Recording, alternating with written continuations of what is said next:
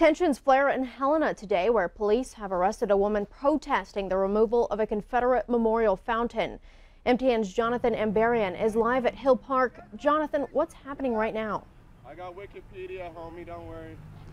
Thank you, Asia. Uh, city officials are here behind me at the fountain. They are starting to work on uh, taking apart the fountain and getting it ready for removal.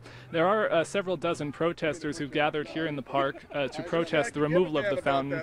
There are also now a few counter protesters as well.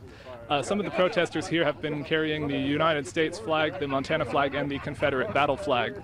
Now, Assistant Police Chief Steve Hagan confirmed uh, one woman was arrested this morning for obstructing a police officer. He told MTN people were asked to come out from inside a fence erected today and told that they would be arrested if they did not.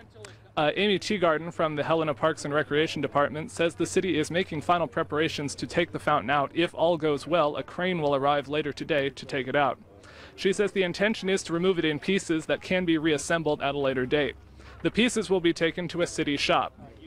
City commissioners decided to remove the fountain at a Wednesday night administrative meeting. They cited the potential for violent conflict around the fountain and its symbolism.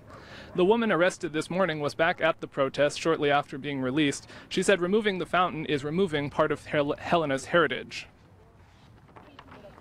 It doesn't represent hate.